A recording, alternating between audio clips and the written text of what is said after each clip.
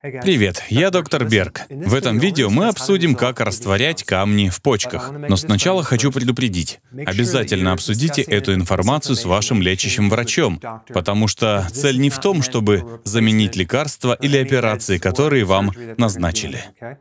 Я просто хочу представить это как полезное дополнение для вашего врача, чтобы помочь избежать рецидивов или замедлить образование камней.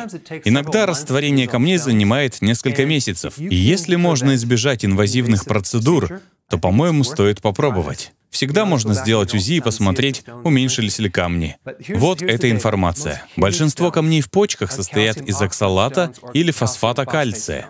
В 20% случаев, или чуть реже, из кристаллов мочевой кислоты. Есть два типа — Точнее, их больше, но эти два основные. Камни в желчном пузыре совсем не такие, как в почках. Они образуются иначе. Камни в желчном холестериновые из-за нехватки желчи. Камни в почках, если брать самые частые, из оксалата кальция. Есть два момента, на которые надо обратить внимание. Первое — убрать оксалаты из пищи. Это как бы побочный продукт метаболизма, но в почках оксалаты связываются с кальцием. В почке образуются кристаллики, которые могут вызвать много проблем. Они могут застревать прямо в почке, перед самым мочеточником, и вызывать задержку жидкости, давление и сильную боль.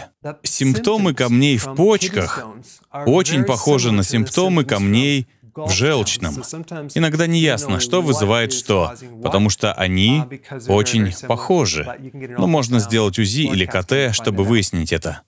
Хорошо, итак, Основной механизм в том, что обычно у человека мало цитратов и много оксалатов.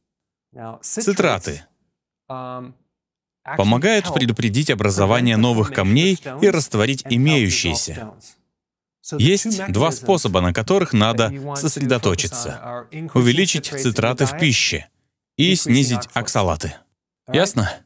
Начнем с первого. Пункт первый. Увеличить цитраты. Есть много марок лимонного сока, которые можно пить. Мне нравится лимонный сок Волкейна. Можно вообще брать в принципе, подойдет любой лимонный сок, но я рекомендую лимонный сок высокого качества, он гораздо питательнее. Волкейна лучший, но сгодится любой органический. В лимонном соке много цитратов. Цитрат любого элемента — это в любом случае цитрат. Можно принимать цитрат калия. Мне он нравится гораздо больше, чем цитрат натрия. Цитрат калия будет разделен. Большая часть калия пойдет сюда, а цитрат пойдет сюда. Начнет соединяться с кальцием и помогать разрушать мешать камни. Это решит вопрос цитратов. Второе, надо избегать оксалатов. Я помещу в описании ссылку на список разных типов продуктов, где много, чрезмерно много оксалатов, а где их мало. Пользуйтесь им. В самом верху списка — шпинат. Шпинат содержит сотни всего в 100 граммах шпината содержится буквально сотни миллиграммов оксалатов.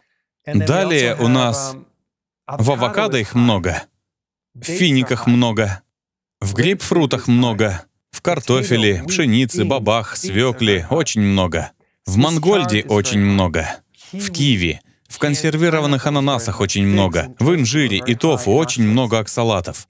В орехах, к сожалению, тоже много. В миндале очень-очень много. Очень жаль. Вы знали, что в кейле, кудрявой капусте, очень мало оксалатов, хоть она из крестоцветных. Где-то 20 миллиграмм на 100 грамм. В шпинате сотни миллиграммов.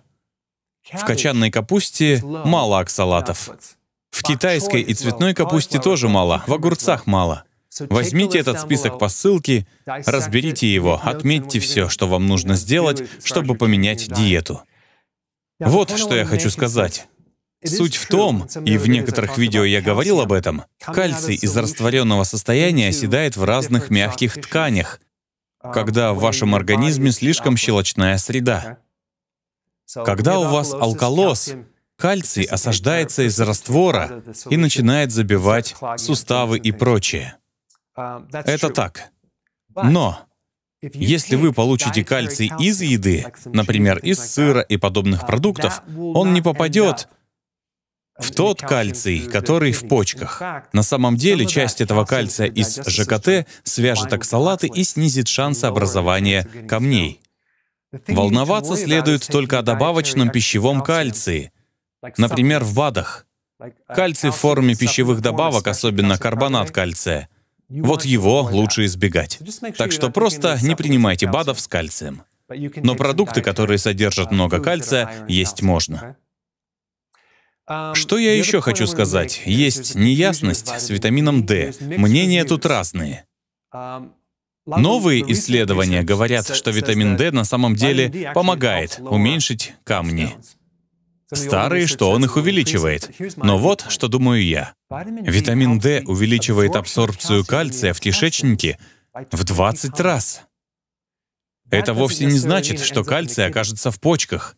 Так что я думаю, что ничего страшного. Витамин К2 тоже очень важен, если у вас камни в почках, потому что он помогает сохранять кальций в костях. Он помогает оттоку кальция из мягких тканей и притоку его в кости, где ему и место. То есть этот витамин очень хорош против камней в почках. Мнения разделились и насчет витамина С, точнее аскорбиновой кислоты. Это синтетический, речь о больших ее количествах. Некоторые исследования показывают, что она увеличивает Другие же не показывают, и я...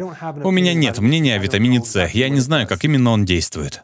Кто-то считает, что клюква помогает растворить камни в почках. Не помогает. Все, чем вам поможет клюква, она уменьшит вязкость бактерий в мочевом пузыре. Теперь о кристаллах мочевой кислоты. Конкретно этот вид камней развивается, когда ваш pH слишком кислотный pH вашей мочи слишком кислотный. Тут причин может быть несколько. Первое. Вы питались по кето-диете, и теперь у вас камни в почках. Либо у вас проблемы с инсулином. У многих диабетиков есть камни в почках. Потому что тут участвует сахар, так как сахар, фруктоза могут привести к скоплениям мочевой кислоты в организме. Если у вас камни из мочевой кислоты, вам нужно повысить pH организма. А это можно сделать так. Можно повысить щелочность организма, принимая цитрат калия или даже лимонный сок, потому что они оба щелочные. Хотя лимонный сок — это кислота, в организме он превращается в щелочь. Так что цитрат калия и лимонный сок помогут при обоих типах камней. И последнее, но тоже очень важное. Если у вас кристаллы мочевой кислоты в виде камней в почках или подагры, вам нужно нормализовать инсулин, понизить его уровень.